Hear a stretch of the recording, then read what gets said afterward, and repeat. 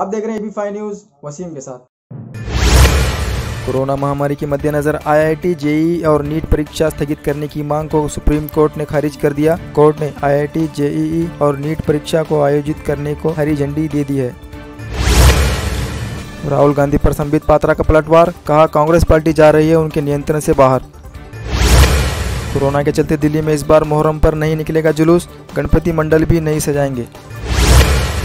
बेंगलुरु हिंसा दोषियों की संपत्ति जब्त कर नुकसान की भरपाई करेगी कर्नाटक सरकार, सीएम येडियुरप्पा ने लिया फैसला। सुरेश रैना ऑफिशियल तौर पर किया रिटायरमेंट का ऐलान, फैंस परिवार बीसीसीआई को कहा शुक्रिया।